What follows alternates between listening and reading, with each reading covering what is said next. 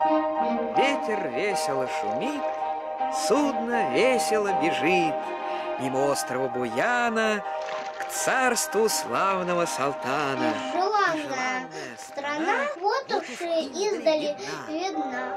Вот на берег вышли гости, сэр Салтан зовет их в гости. И за ними во дворец полетел наш полетел удалец. наш удалец. Видит, весь сияет в злате. Царь Салтан сидит в палате, на престоле и в венце. Ой вы гости, господа! Долго ли ездили? Куда?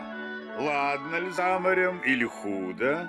И какое в свете чудо? За морем житье не худо, В свете ж вот какое чудо. В море остров был крутой, Не привальный, не жилой. Он лежал пустой равниной, Рос на нем дубок единый. И теперь стоит на нем новый город со творцом, В златоглавыми церквями, с теремами и садами. А сидит в нем князь Гвидон. Он прислал тебе поклон. Царь Салтан дивится чуд, молвит он.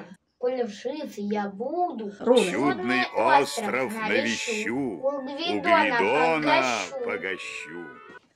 А ткачиха с поварихой, с сватей бабой бабарихой, не хотят его пустить, чудный остров навестить. Уж, диковинка, ну право. Подмигнув другим лукаво, повариха говорит, Вот что не безделка. Ель в лесу, под елью белка. Белка песенки поет, и орешки все грызет. А орешки непростые, все скорлупки золотые. Ядра чистый изумруд, вот что чудом-то зовут.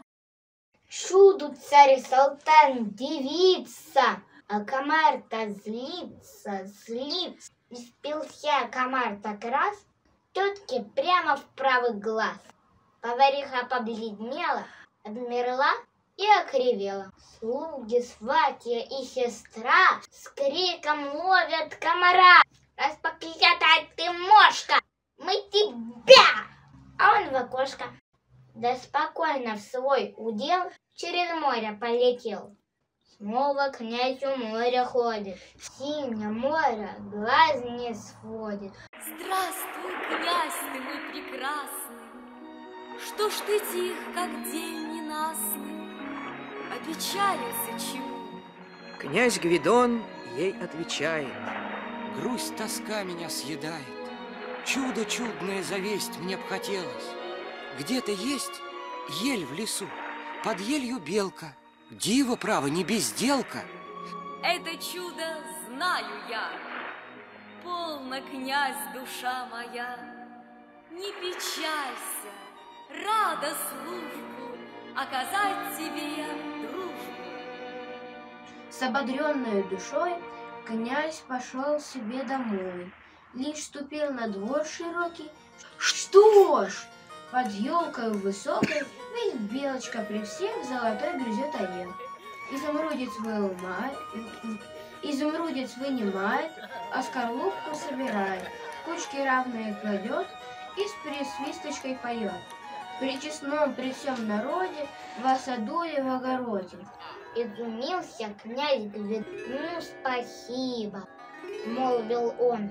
Ай да лебедь, дай ей Боже, что и мне веселье тоже. Ко мне величко, лицом круглоличко.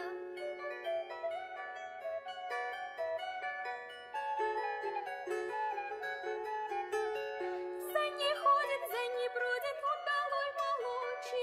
Он и ходит, он и носит дорогие подарки. Князь для Белочки потом выстроил хрустальный дом. Караул к нему приставил, и притом дьяка поставил. Строгий счет о рекам весть, князю прибыль белки честь.